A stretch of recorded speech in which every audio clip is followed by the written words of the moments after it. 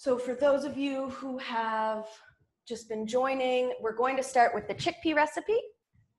So if you want to grab your ingredients for the roasted chickpea recipe and preheat your oven, you can set it to 350 or 375. I tend to kind of cheat it a little higher because I'm impatient and I want them to cook faster. so you can put your rest your oven on and then get those ingredients for our first recipe ready to go. So we've still got a couple people trickling in here and I am recording this. So if say you have to zip out or you miss something or you know maybe I say something you're like, "Oh, I want to remember that." Don't worry. I'm going to send out the recording tomorrow afternoon um, for everyone who signed up for the class. So you'll have this recording that you can come back to over and over and over again as often as you like. And you've got your recipe handouts so you can kind of make this your own. I like to offer options. I like to give you a recipe and then you can really tweak it and make it what you like. So when we get into the actual building of the bowl, I'm going to give you some other suggestions and tips and things that you can throw into it. I like to call them almost fridge salads. You can just throw whatever you've got on hand and make a nice big filling meal. So we still have a couple people joining, but I am going to get started just so that we can sort of move this along and like I said, not be eating our dinner at 9 p.m. So to begin today, I'm going to give a little introduction of who I am and sort of why I'm doing these classes. And then we're going to dig right into the recipes and I did send out a little email, so you want to have them grouped and we'll go from chickpeas to start and then we're going to make our rice because that takes the next longest to cook. And after we make our rice, we're going to do our our dressing, our glory bowl dressing, which is my all-time favorite. I eat it with a spoon all the time. Um, and then once we are done with the dressing, we're gonna pull it all together, chop some veggies, and make a really delicious Buddha bowl. So thank you so much, everybody, for joining this evening. I really appreciate you taking the time out of, you know, the first day of your week, probably a little busy, to come and cook with me and cook with everyone else who joined and learn some new tips and new tricks and some sort of kitchen inspiration. Uh, my name's Caitlin. If we haven't met before, I'm a holistic nutritionist and a culinary nutrition expert as well as a yoga teacher. So I wear many hats. I don't like to get bored. I like to do lots of different things. so tonight we're really going to be focusing on the culinary nutrition aspect of what I do. And this is truly, I think, one of the most important parts of those, those habit changes, those things that I mentioned in sort of the pre-chat that we had, where it's a new year, it's 2021, nothing really changes when the calendar shifts to a new year, but when we come to January, there's often a lot of excitement or motivation or inspiration to take some changes on board. And so that's what we're going to be doing tonight. I want to just share some little tips for inviting healthy habit changes into your life, for carrying them through. So, you know, it's not just something you stick with for two, three, four weeks and then life gets in the way and you leave it behind. We want to be building habits that last for a lifetime. So tonight we're going to be looking at some kitchen skills that we can learn. And we're going to be starting with some roasted chickpeas. So this is one of my favorite, favorite recipes. And it's honestly the easiest thing to make. And they are so customizable. So we're making sweet and salty chickpeas just because if you notice in the grocery list, I like to use ingredients in more than one way so that your grocery list doesn't end up this long and you're spending hundreds and hundreds of dollars every week. Now, there might have been a couple items that you were stocking your pantry with, so it was maybe a little more expensive, but those bottles of vinegars and tamaris and nutritional yeast are gonna last for lots of recipes. So you're kind of investing a little bit now and it's gonna pay off in the long run. So to start our recipe, we want to strain and rinse our chickpeas. As you can see, I already strained and rinsed these bad boys. And it's about one large can. My recipes are very forgiving, so you can really fudge around with the numbers, with the measurements. So kind of whatever you have. One large can, uh, can of chickpeas is great. And then we're going to grab some olive oil And the recipe says two teaspoons. The way I tend to measure is I drizzle it over, and when it looks like there's sort of a coating on the chickpeas, that's about two teaspoons. But please feel free to measure. But that's where we're gonna start. So we want to get the chickpeas coated, give them a little stir now so that every chickpea gets a little bit of oil on it. And this is helpful because it's going to help the nutritional yeast and the coconut palm sugar actually stick to the chickpeas.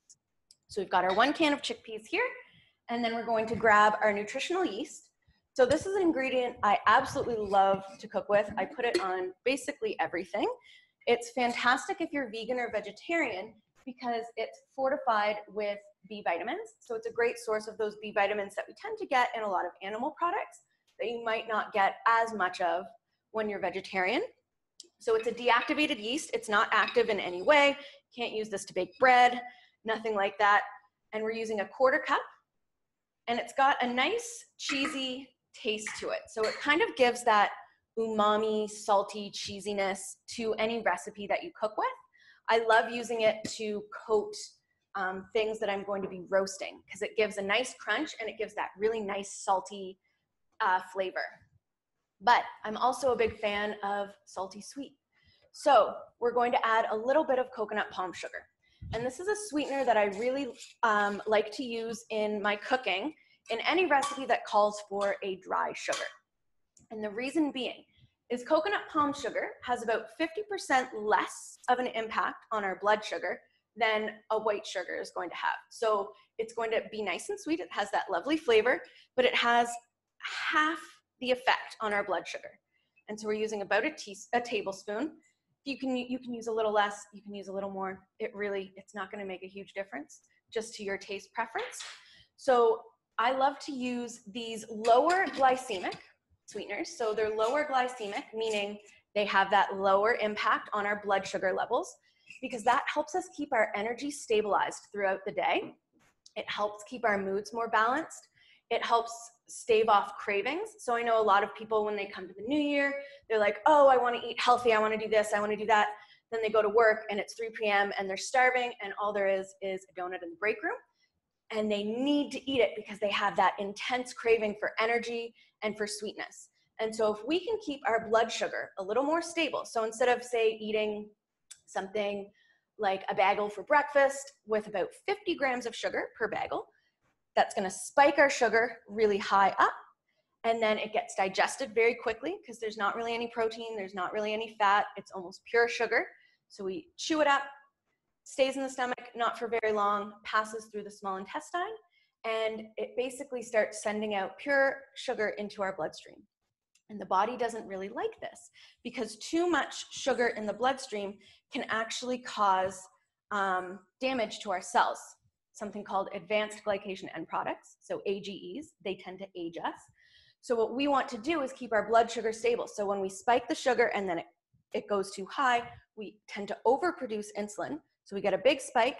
And then with that overproduction of insulin, it sometimes crashes too low. And that's when we get those hypoglycemic uh, phases.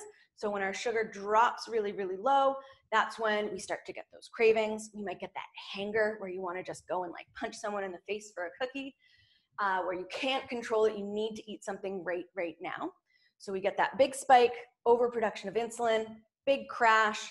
We get a craving, and at the same time, when our blood sugar goes too low, the body panics, and so it wants us to release some of the stored sugar we have in our muscle tissues and our liver called glycogen and so it releases a hormone called cortisol. And cortisol is a stress hormone. So it can impact our immune function and it can impact sometimes the deposition of fat around the midsection because we tend to hold on to it when we're in times of stress. So we're kind of spiking and crashing throughout our day and we get home and we're exhausted. So what we really want to do with this meal and with all of our meals is really stabilize that blood sugar. So let's give a little bit of salt to our chickpeas. We'll just pop these in the oven before I continue blathering away. Give it a little stir, a little mix. And then we're going to grab our baking sheet and spread the chickpeas. So you can see here, they've got a nice little coating on them. We're going to spread them out in a single layer, just like so. and then, ooh, pop them in the oven. What's that? They're already done. That's amazing. So you're going to pop them in the oven and put a timer on for 20 minutes because you want to stir them every 20 minutes so they get evenly baked and don't burn on the bottom. And what you're looking for, I'll hold them kind of up to the camera here, is a nice crunchy, I don't know if you can hear the, they're nice and crunchy in there and they get nice and dark and quite hard. So I even baked these last night and they're still super, super crunchy. So don't be afraid of pushing the color, getting them a little bit darker than you might think so that they get that nice crispy texture. And they will crisp up a little as you take them out of the oven, but we're looking for a nice crunchy, crispy chickpea. So I'm going to check the questions here, see if we have any for this recipe. It doesn't look like it. Um, so I'll just finish up very briefly my blood sugar little chat. So where we kind of ended was that big crash and the release of cortisol, the cravings for sugar. And if we're doing that all day, every day, we can feel really out of control of what we're eating. Um, you can do, Sam, you can do 350 or 375. My oven tends to run quite cool, so I tend to bump it up. I'm also impatient, so I'll bump it up too if I want it to cook quicker. But if you're someone who tends to forget about stuff in the oven, 350 is your best bet because then there's less chance it will burn. So kind of anywhere in between 350 to 375, depending. Um, so they'll last, the chickpeas will last Mm, about a week or so if you store them in an airtight container. But the crucial piece is to let them cool fully before you put them away. So I'll let them cool for a couple of hours and stir them on the baking sheet before I store them because otherwise they get they can get quite soft. But if that does happen, all you do is pop them in the oven for another few minutes and they'll crisp back up again. So any other questions for the chickpeas? All right, I'm just going to slide these down to the side here. Keep this for our dressing.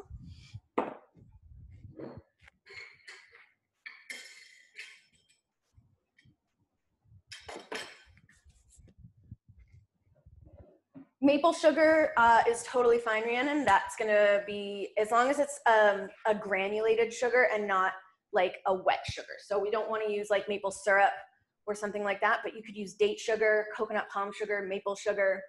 Um, if you have an organic uh, white sugar, that'll work as well. We just want something to get that little crunchy sweetness, but keeping um, the glycemic level low. And the way that we do that is by combining healthy fat, healthy protein, and healthy fiber. So when we were just talking before, we're eating sort of pure sugar and spiking and crashing. So when we're eating things with a high glycemic index or glycemic load, we can overwhelm our system. And everyone is going to react slightly differently. So some people will have more tolerance for sweeter or more carb-rich meals than others. So you kind of have to figure out your, your threshold and what works best for you. But a really easy rule of thumb to keep your blood sugar stable is to combine at least two of the three macronutrients in every meal and snack. So that would be a fat, a protein, and a carbohydrate, complex carbohydrate. So in our chickpeas, they're fantastic because they have all three. So the chickpea is a great source of fiber, complex carbs, and some protein, some plant-based protein. The nutritional yeast has a good protein source as well. We've got healthy fat from our olive oil.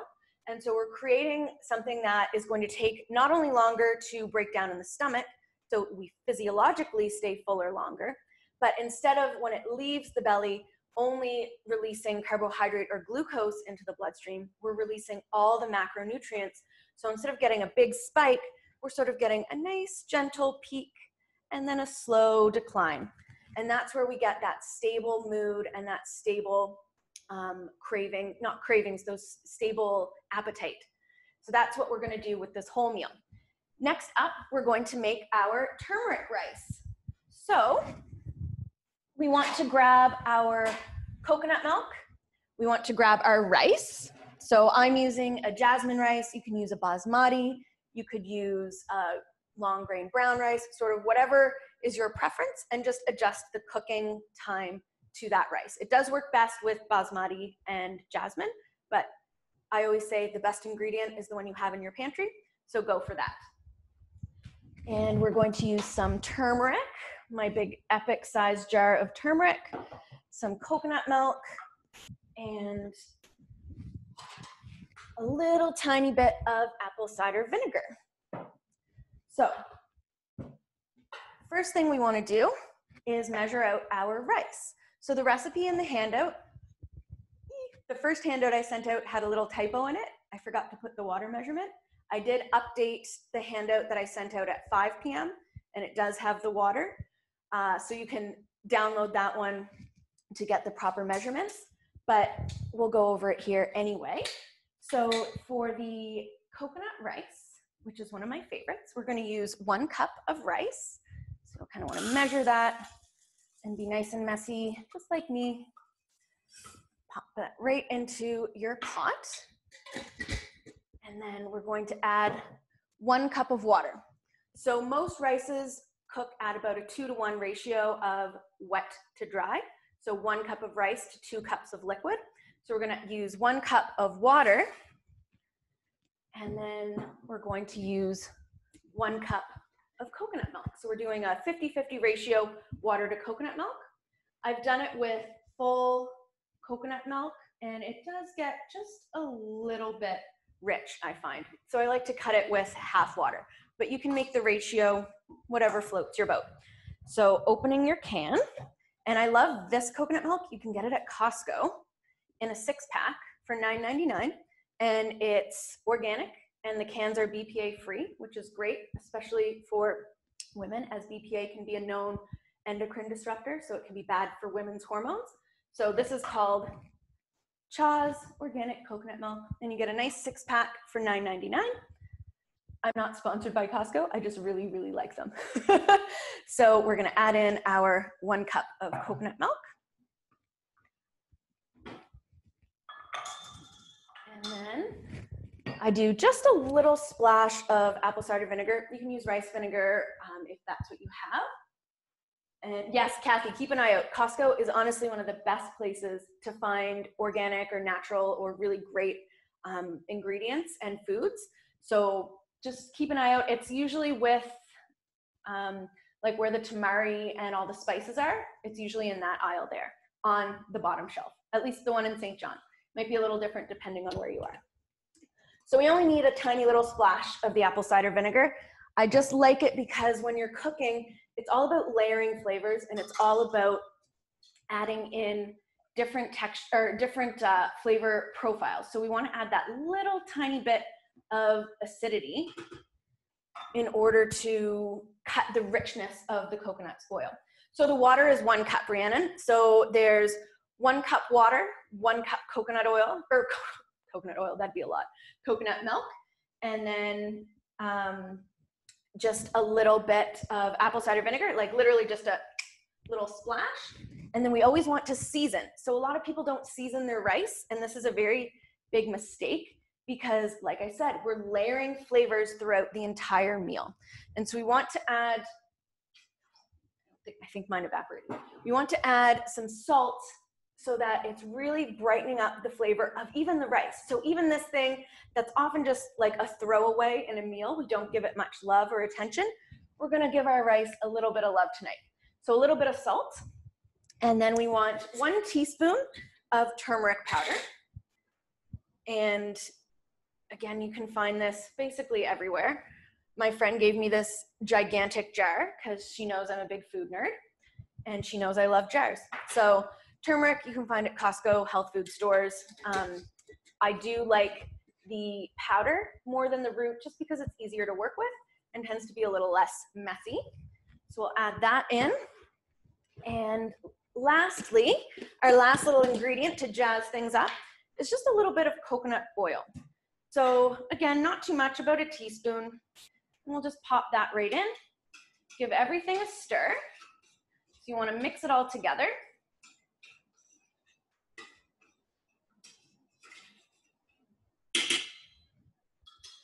And then from here, we just pop our lid on. And I've got to turn on my induction burner from behind. Oh, sorry for that. turn that on and I'll turn it down a little bit. So you, what we want to do is bring our rice to a boil. Do not take the lid off. And then we're gonna let it just kind of bubble away, let it simmer. So one of the reasons we're using coconut in our rice is because when you cook rice, it can be quite a dense source of carbohydrates. Some people, that's fine. I'm quite carb sensitive, so I tend to need to find ways to make sure that my blood sugar stays balanced, that I don't get um, big spikes and crashes. I have a history of PCOS, so I have some insulin uh, balance issues. And one of the beautiful things about adding coconut oil or coconut milk to our rice is that once you cook it and then cool it down, it creates um, a specific type of fiber in the rice, uh, and which will which is indigestible. So it's it's undigestible fiber, and so it keeps the blood sugar balance lower, and also feeds our yummy or our friendly gut bacteria. Uh, Eileen, yes, you can use a rice cooker. Just use your your rice cooking settings. So whatever sort of your regular rice cooking settings would be, this recipe is going to work fine with that. So that's why we're adding our coconut to our rice. Again, we're looking for that blood sugar balance. So this is having our carbohydrates and then healthy fats to help keep things nice and balanced, specifically from coconut. So any questions about the rice before we move on to our next recipe? I'll give you a second just to kind of get it on the stove.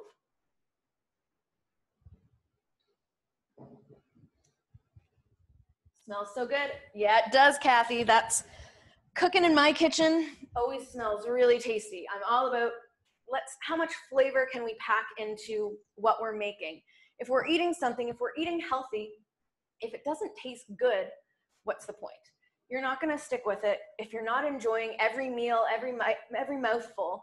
If it isn't something that you actually look forward to eating, you're not going to end up sticking with any resolutions to bring in healthier ways of eating to your lifestyle because it's not sustainable to be eating something that makes you miserable day in, day out until you die. so that's why we bring in as much flavor. Salt is your best friend.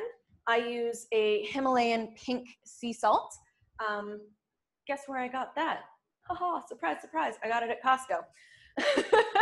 and it just adds a really nice, it, what it does is it actually opens up the taste buds in your tongue. So that's how things like salt and vinegars and acids actually work is they open the taste buds on your tongue so more flavor can get in. So they kind of irritate them a little bit.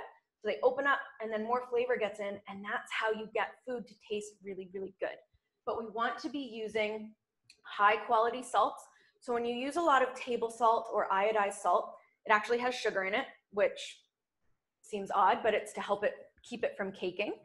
It has anti-flowing agent or it has flowing agents in it. It has a lot of preservatives in addition to, I'm just gonna pop that down, in addition to the salt. So you're not just getting salt, you're getting all these other things in the package. So if we want to use sort of a sea salt or the Himalayan pink salt, whichever is your, your preference, that is going to um, be a better option long term. Like I'm not saying be terrified of table salt. You're going to have it when you're at restaurants. That's life.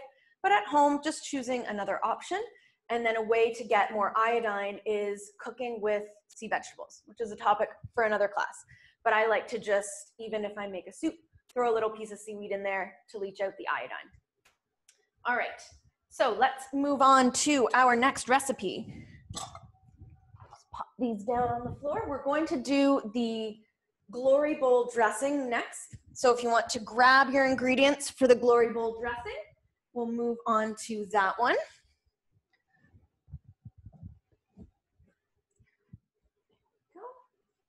All right. And I got really fancy and I measured everything out in advance and put it all on a pretty little board.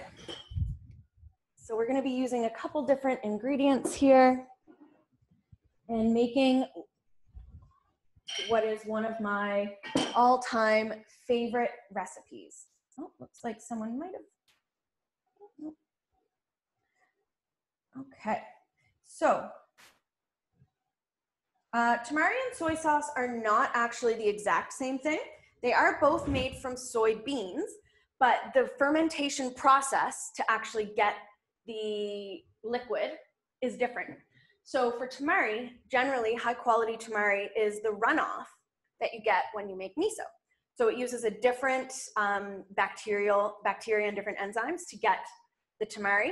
And then soy sauce can often have um, other things included in it. So you might get soy sauce with some wheat or um, other additives, but they can be used pretty well interchangeably. I do like to use organic as much as possible just because soy is one of a very highly sprayed product um, that grows. So when we're eating tons and tons of soy, we want to make sure it's organic so that we're not getting in a huge, huge pesticide load. To make your dressing, you're going to want a, oh, tamari soy sauce. That's probably just a name. Um, so because it is made with soy sauce, but like I said, one that just says soy sauce is going to be just marginally different in terms of the bacteria used to ferment it. And sometimes the ingredient list is going to change a little bit there. But flavor wise, they are very, very similar. I find tamari can even be slightly saltier than soy sauce. So you can be, what you might want to do is, is test it out, make sure you're not over using too much and over salting. Or if you have soy sauce, you might use a slight bit extra. Okay, so to begin, we're going to be making our glory bowl dressing. And this is one of my all-time favorite dressing recipes. I eat it with a spoon. I make it all the time. I put it on everything. It's fantastic as not only a dressing for like salad bowls and things like that, it's great with raw veggie sticks. It's great for if you make um, like chicken skewers or you can do like rice wraps and things like that. This dressing basically works with whatever you got going on. and we're going to be using tamari or soy sauce, some rice vinegar, some apple cider vinegar. We've got our delicious nutritional yeast. We've got some garlic, a little bit of tahini, which is one of my favorites, and some maple syrup for a sweetener, and a little bit of water because I find things that are made with tahini tend to thicken up quite a bit. So we'll begin with our, um, our salad dressing. And most dressings are basically an acid and an oil combined together. And then you can get really creative and emulsify them with something like a tahini or a mustard. You can add in flavorings like your garlic, your nutritional yeast. You can sweeten them. You can really make your dressing whatever you want it to be as long as you have some sort of acid, which would be a vinegar, a citrus, something along those lines, a healthy fat. So we're going to use olive oil, but you could use um, an MCT oil, avocado oil, hemp, whatever the whatever you prefer, and a little bit of garlic because garlic makes things everything better. First ingredient we're going to use a third of a cup of your tamari. So you're just going to pour that right into a bowl. We've got a third of a cup of apple cider vinegar. And apple cider vinegar is one of my favorite vinegars to use. Um, it's generally unpasteurized, so you do want to look for an unpasteurized version. And when it's unpasteurized, it's going to be a nice source of what are called probiotic bacteria. And these are bacteria that are beneficial for our digestive system and can help support immune function as well.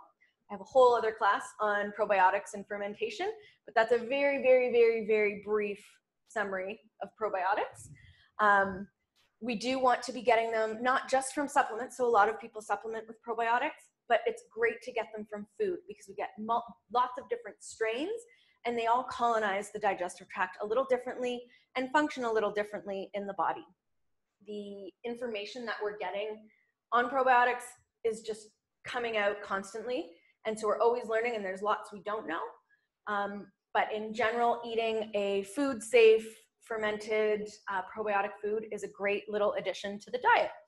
Uh, we don't want to cook probiotics because that can kill them. So it's great we're using it in our raw dressing.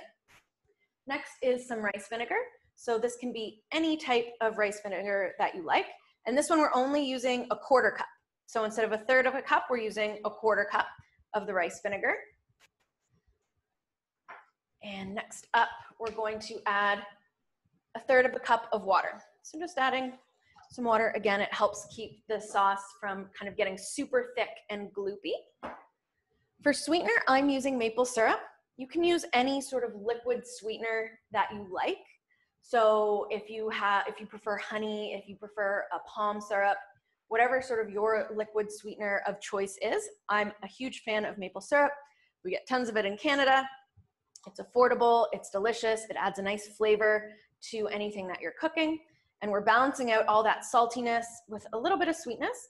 And we're using a quarter cup of the maple syrup, which seems like a lot, but don't forget that this is a dressing that you're gonna be having, you know, a couple tablespoons of. And we've got all these other ingredients in there. So per serving, the amount of sugar is actually quite, quite low. We'll give that a quick little stir together. And then next, we'll pour in our tahini. So tahini is um, a seed butter, essentially, that I really love to work with. It comes from sesame seeds. So it's basically a sesame paste. Um, it's used in a lot of Middle Eastern cuisine. It has a really rich, nutty flavor. It is lower in allergen than like a peanut or even a, a tree nut butter and it's a really high food source of calcium. So it's one of the higher food sources of calcium that is out there, which is great. Again, if you're maybe one of your goals for the year is to eat more plants and to be more plant based in the way that you're eating, which is fabulous, but we always want to make sure that we're doing it correctly. So we want to make sure we're still getting those nutrients that we might have been getting from other sources. So if say you're I'm not going to do dairy anymore, tahini is going to be a great addition to your diet to help you get that nice plant source of calcium. So we'll put that right in there and wipe the fingers off. Next up, we've got our nutritional yeast and we're using one half cup plus two tablespoons, which I know seems like a super weird measurement, but trust me, I tasted it with only half a cup and it just really wasn't as good. So add the extra two tablespoons to make sure that you get that nice, rich umami flavor. So again, as I mentioned, our nutritional yeast is a great source of protein, uh, plant-based protein. It's got our B vitamins. It's uh, really cheesy and delicious and adds that salty umami flavor to the foods that we're eating. So I'll just pop these down. Getting stuff out of the way here. Okay, so now I want to show you just a quick little demo on how to cut garlic because this is something that I see in my cooking classes all the time that people struggle with.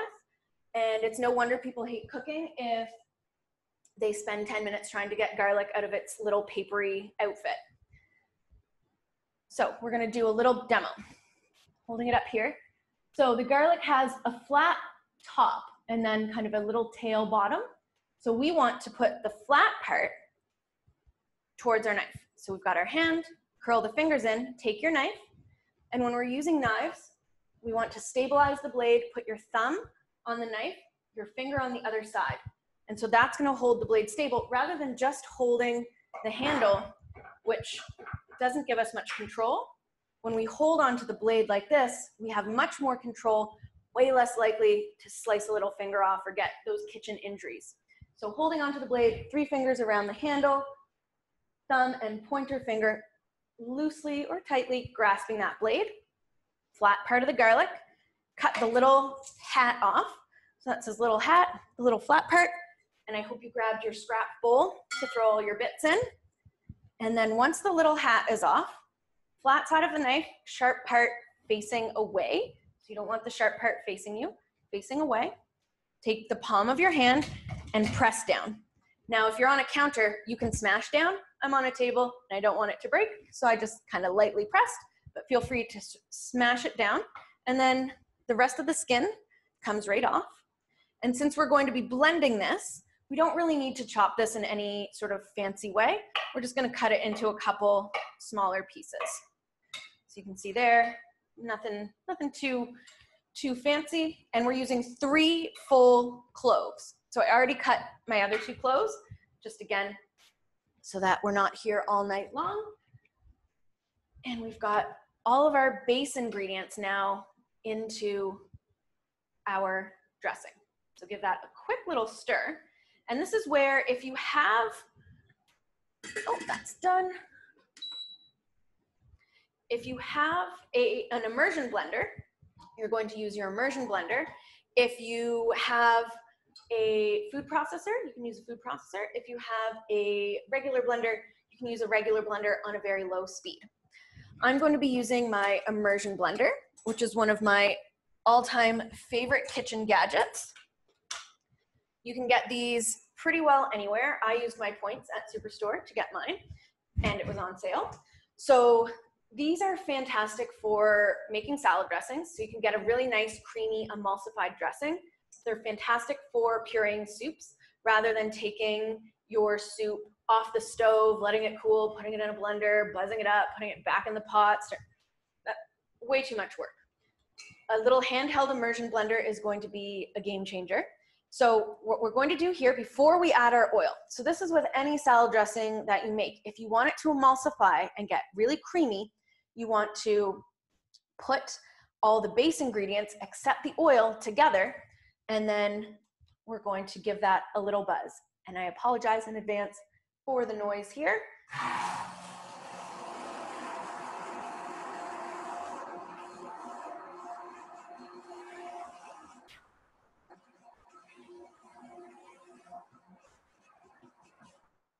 So basically what you want is for the garlic to get broken down. So kind of take a look if you see chunks of garlic. So I see a big one right here. You want to give it another quick little buzz together. Sam, um, yes, it might take a little bit uh, for your, if you already added the oil, it might take a little bit longer. You should still be able to blend, like uh, emulsify it all together. If you can't, grab a mustard and just put a little squeeze of mustard in there and that should help emulsify the oil and the vinegar together. All right.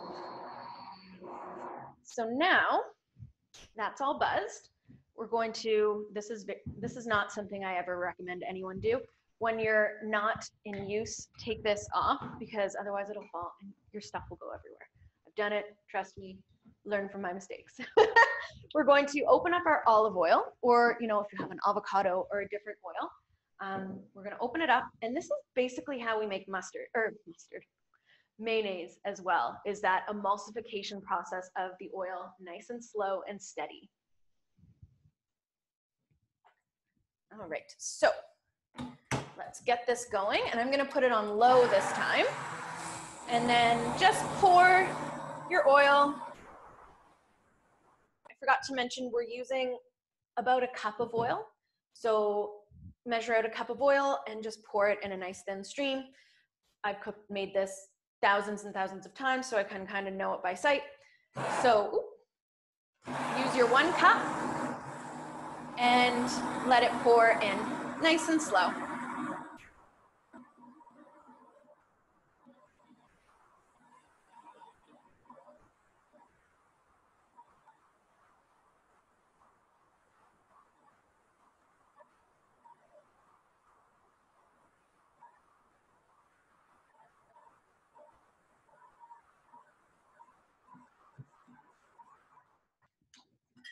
And once you're done emulsifying in the oil, you can take your immersion blender out or it's one cup of oil Tess.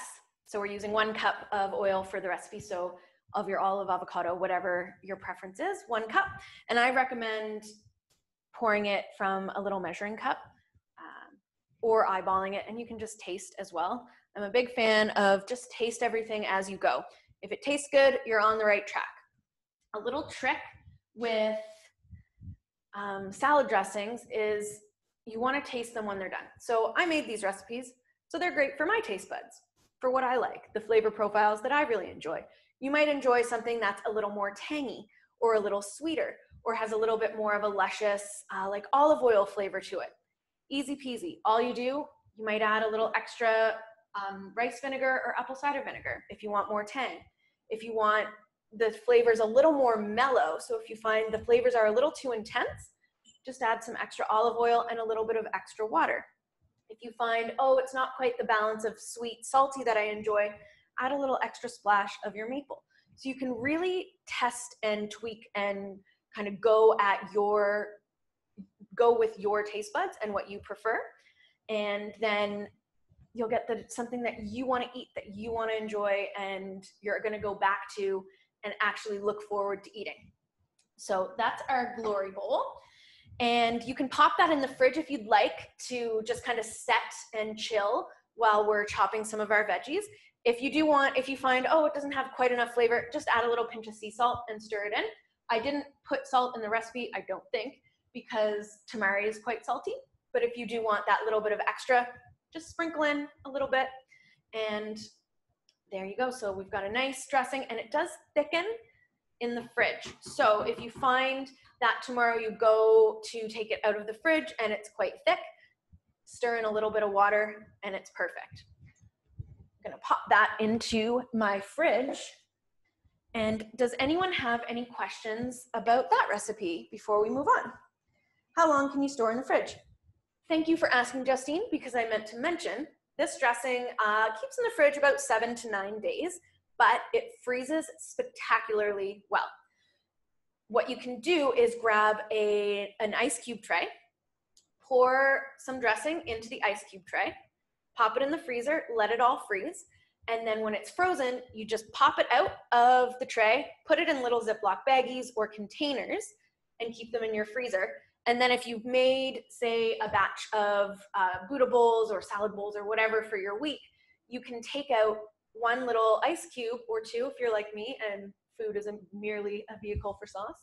You can grab two ice cubes, put them on your salad. If you're going to work, they should be melted by lunchtime and you can stir them in without making your salad go really um, soggy and kind of sad and pathetic. So they freeze really, really well. The ice cube trick is fantastic. And if you do that with, you know, two or three dressings over a couple of weeks, you have lots of different flavors for the mood that you're in. So you can look and be like, oh, I'm more in a mood for like a creamy balsamic. And oh, I made one two weeks ago. I'll grab a couple of those. Or maybe you're in the mood for, I have one that's an avocado lime uh, ginger, which is a really great one to bring a little bit of like freshness to the really cold and dreary winter. So you can play around and make a few different dressings so that your meals are always exciting. So even if, say, you're boring like me and you have Brussels sprouts almost every single day, you can put a different sauce on them so that they do taste different when you're eating them. Um, I made a little chimichurri, which I'd never done the other day, and I've been using that in like tacos, and it really just jazzes things up. So when in doubt, make a delicious sauce and bring some excitement to the food that you're making. Oh, you're welcome, Anne. That is a, it's a good, it's a good trick. It works. So I'm just going to clear off this stuff and we're going to scoot right along. We're doing great, everybody. Good timing. We're just going to finish up now with our um, the chopping. So we're just gonna chop some veggies. Make sure you clear off your counter space. You wanna just have a little clear space to work in. You want to make sure your knife is really sharp. So a sharp knife is your best friend in the kitchen. It helps to prevent um, injuries and a dull knife hurts way more to cut yourself with than a sharp knife does. So look for little sharpeners. I get mine at Superstore. I got just, it's just a little guy. He's like this big. I'm not a fancy chef. I don't need um, your dress.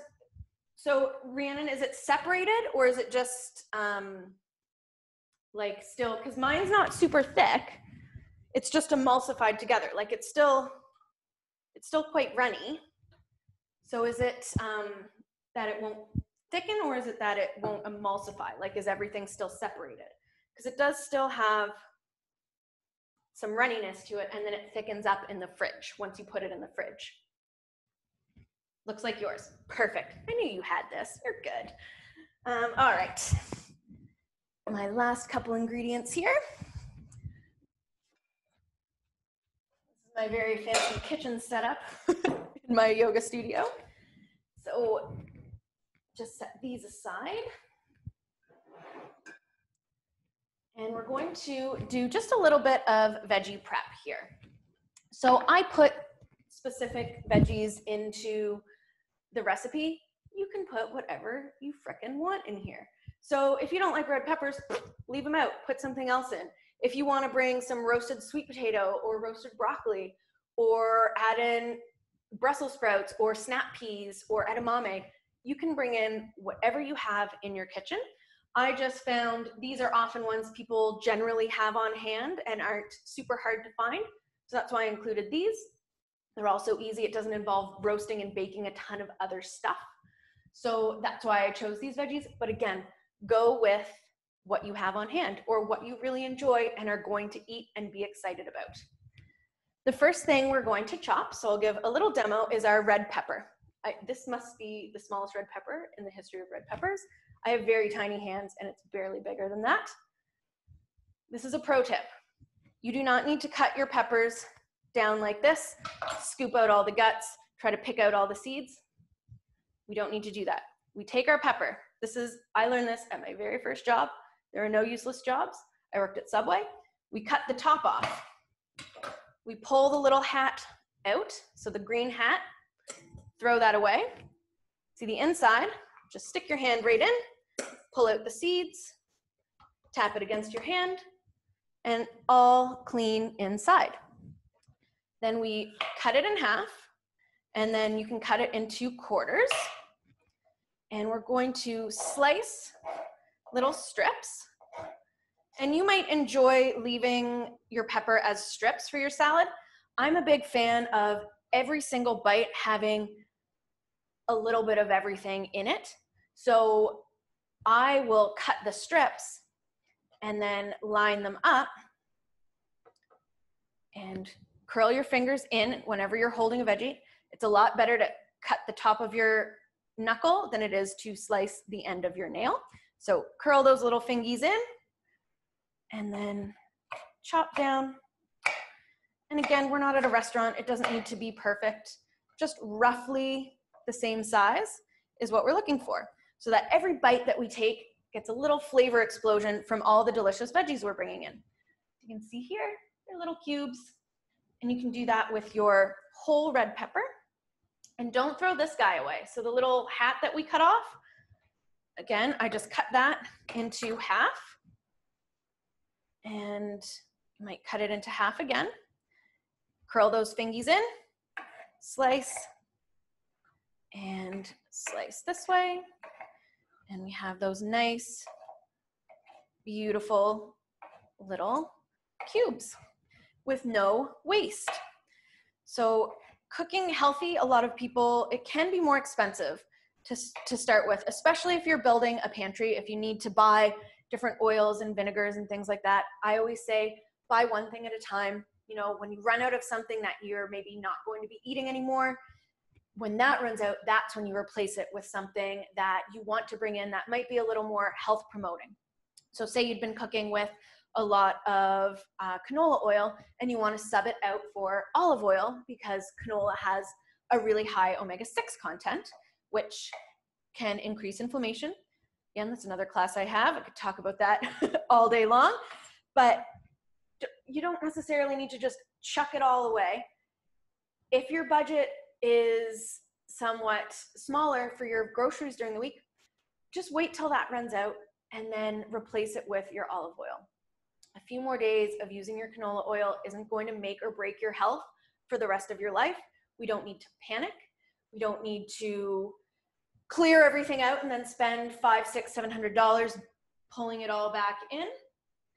We can we can take our time and build our pantry as we go along.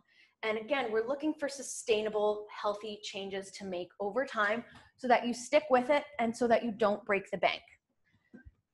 That is our red pepper and my little spiel. I'm going to layer a little bit onto my little plate.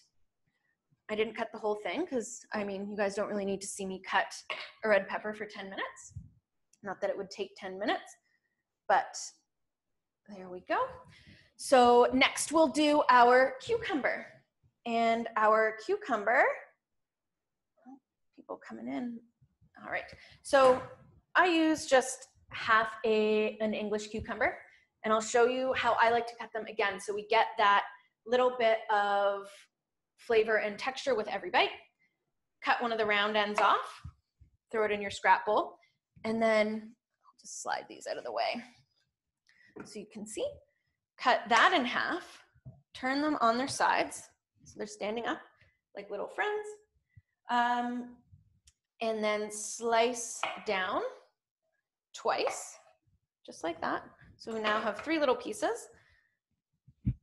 And once that's done, lay them flat and then run your knife this way. So now we have sticks, little cucumber sticks. So these are great for dips um, if you want to have a hummus or something like that.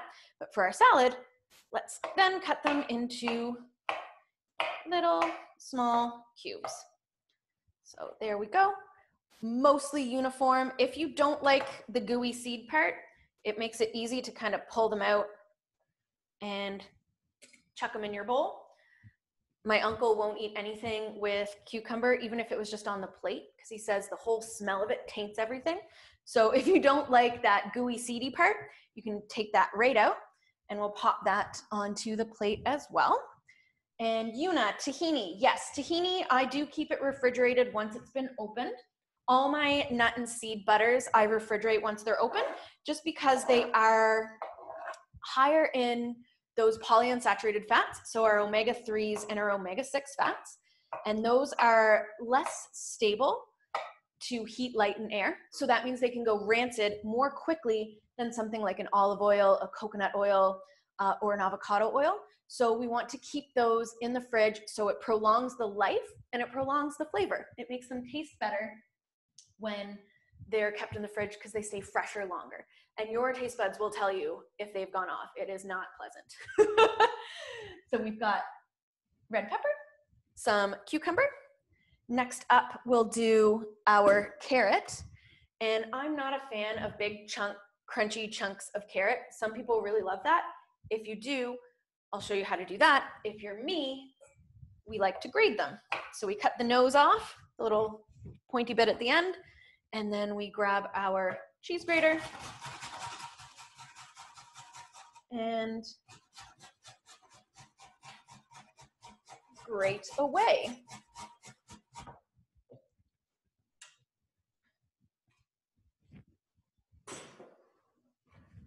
Move that to the plate. Now, if you do enjoy carrot chunks, you should just leave right now. I'm just kidding. Instead, we will cut a chunk of carrot. So I mean, you can cut it a little bigger than this. That's just the piece that I had. Just like the cucumber, we stand it up on the flat edge because it's really hard to cut something that's round and rolling around. That's when we get injuries. Flat edge down. Cut and cut. And then depending on how big they are, you can cut them in half and make little coins. If you want bit even bigger pieces, so half moons, you can just cut that, and then you can have little half moon pieces. Or if you want them cubed, like the cucumber and the red pepper, you cut three times or two times down, and then make those little cubes. So lots of ways to enjoy your carrot. So we've got quarter moons, we've got half moons, and we've got little cubes. And they do have fancy knife cut terms, but I don't think we really need to get into that because knowing the term doesn't make them really taste any different. So you can look it up if you want. Next is our red cabbage. And if you don't have red cabbage, no problem use your spinaches, use your baby kales. You can cut up big kale. Whatever green you have is going to work great. I like the cabbage because it's pretty, because it's purple and it makes the bowl look really special. But like I said, the best veggie is the veggie you have in your fridge. So we're just looking for something leafy to give a little substance to the uh, Buddha bowl. So I cut my cabbage into a quarter. So basically took a cabbage, cut it in half, and then cut it in half again. And all we do, so the core end is where my hand is going to be. And then the top is here. And we just sort of slice thinly down. And the thinner they are, sort of the easier they'll be to chew. If you find that cabbage gives you tummy pains or you don't like raw cabbage, some great options would be you could take this quarter of cabbage, slather it in olive oil and sea salt, roast it up in the oven at you know 400 for 10 15 minutes, get it a little crispy and then cut it. You can also massage some olive oil and lime juice into it with a little bit of sea salt. That's going to help start breaking down those fibers in the cabbage so that they're easier to chew. Um, you can also just sub it out for something that uh, tastes better to you or is easier for you to digest. So we don't need to be making something that's going to give us indigestion, that's going to make our stomach hurt. A lot of people have an idea that, oh, if I want to eat healthy, I have to make sure I eat X, Y, Z. You don't have to make sure that you eat anything if that something is making your stomach hurt. I can guarantee you that if you're looking for a specific health benefit from a food, you can Google that food, that benefit. So say you want, uh, for, so cabbage, great source of vitamin C, great source of something called sulforaphane. So people are like, oh, I want to eat my cabbage to get the sulforaphane to support my liver. You know what else has it? Broccoli, great source of both vitamin C and sulforaphane. If you're looking for vitamin C, have some red peppers. If you want that sort of uh, sulfur uh, compound, any brassica will do. So not just cabbage, that could be broccoli, Brussels sprouts, kale, kohlrabi, um, mustard greens.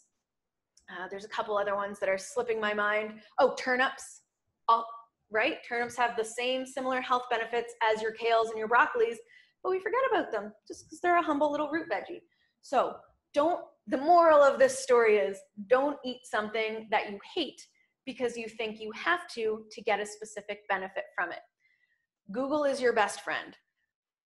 Looking up things with omega 3s. Everyone wants omega 3s. I have to get it from, from fish. I have to make sure I have fish every day, or I have to make sure I have hemp hearts.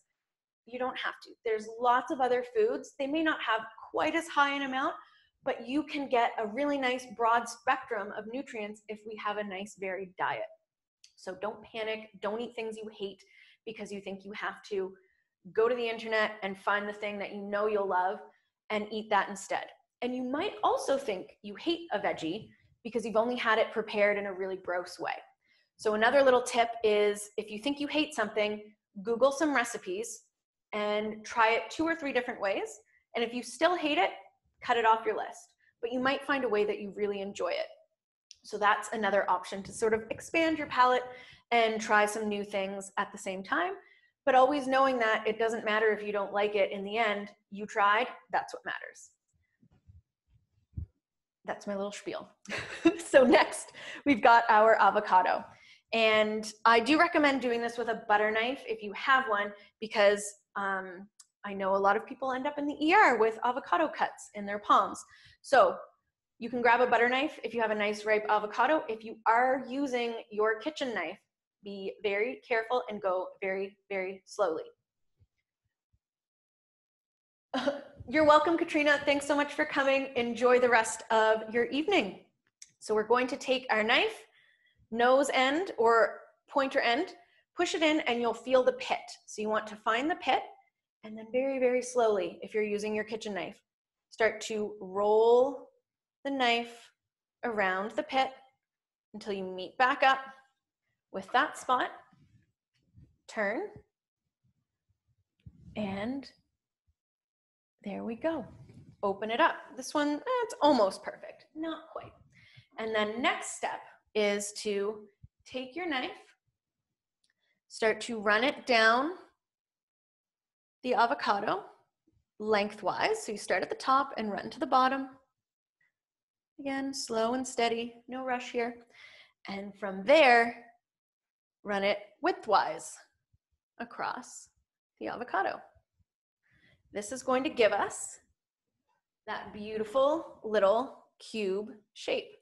So a lot of Buddha bowls on Instagram have all these beautiful veggies cut up and they look so lovely, but they're in huge chunks. And I'm not really a fan of eating things that I then have to cut everything up.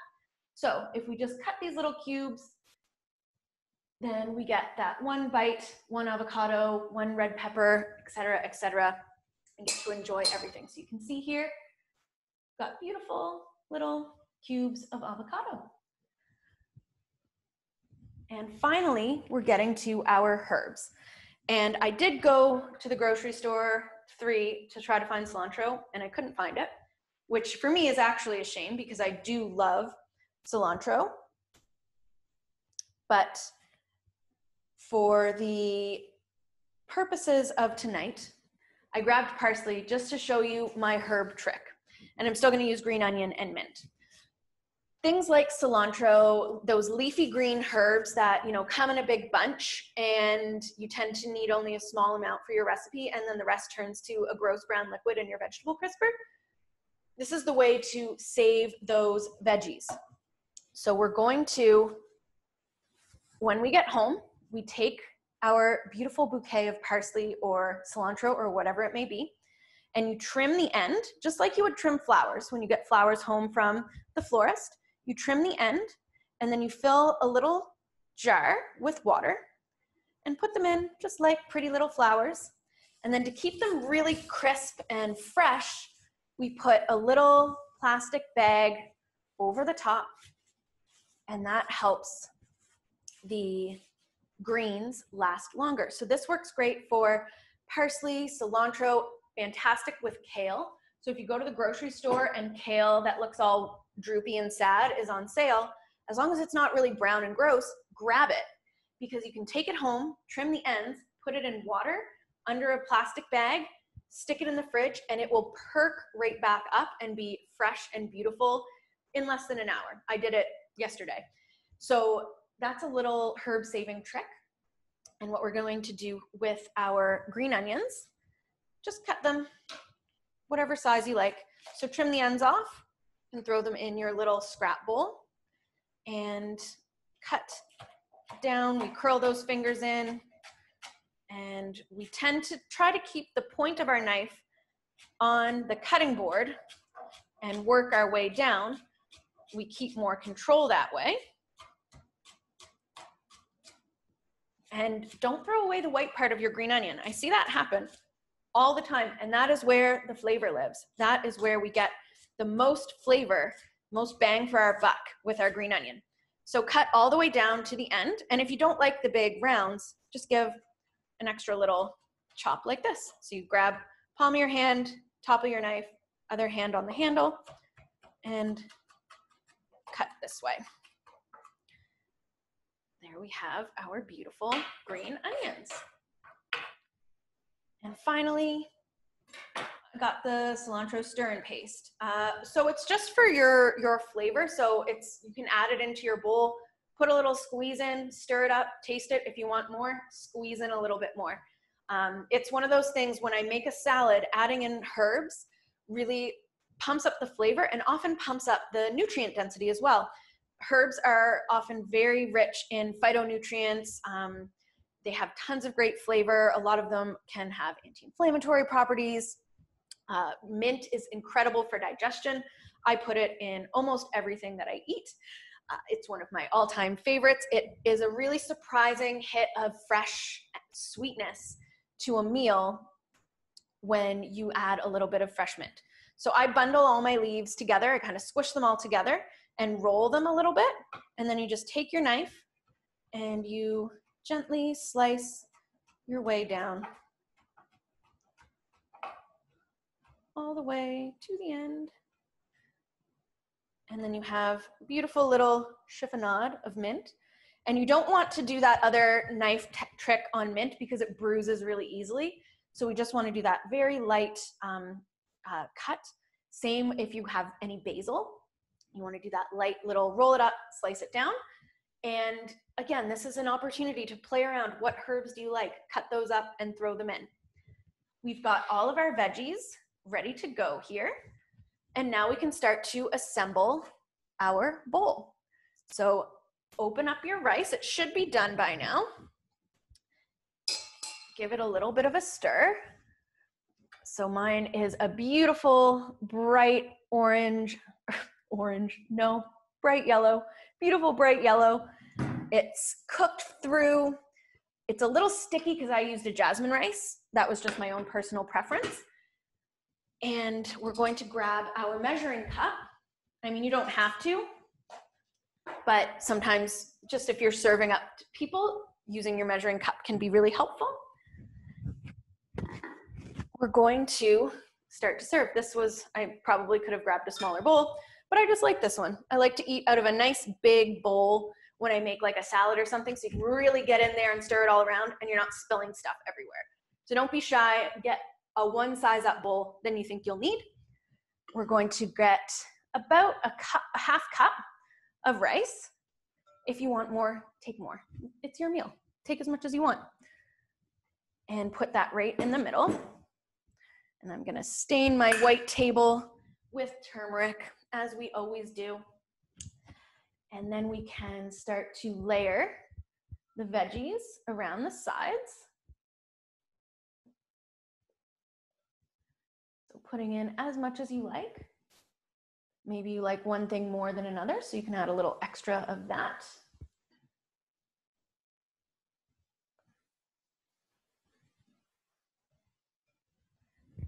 And what next? I'll do green onion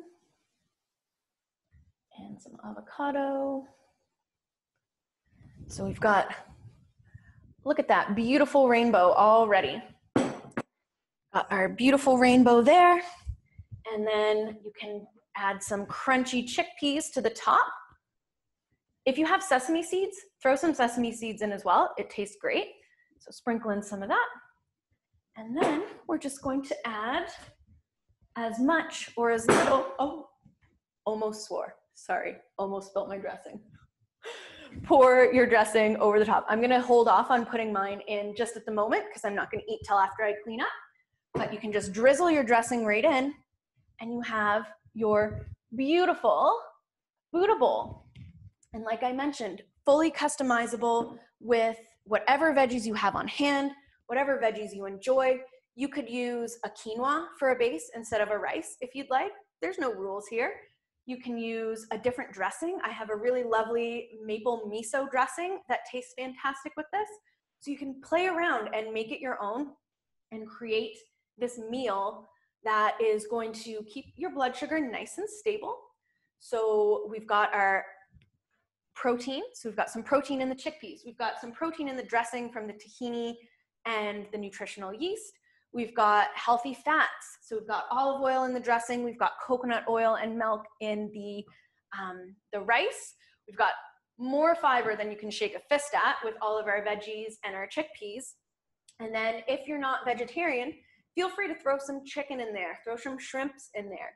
If you want and you have some tofu, throw some tofu or some tempeh, goat's cheese, cashew cheese, whatever you want to throw in here to fill yourself up to make it your perfect bowl, that's what you should do. So, um, are there any other questions?